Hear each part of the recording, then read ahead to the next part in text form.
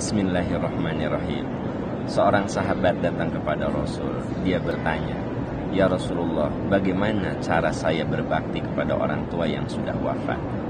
Nabi mengatakan, "Doakanlah selalu sebagaimana ketika orang tuamu hidup tidak pernah lelah untuk mendoakan." Yang kedua, wujudkanlah cita-cita baik orang tuamu kita tahu bahwa orang tua itu punya cita-cita baik. Selama kita bisa mewujudkan, wujudkanlah.